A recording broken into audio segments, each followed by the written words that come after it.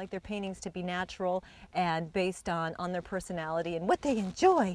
He can do this all day. He could also work at a car wash drying cars with this ability. You sure could, couldn't you?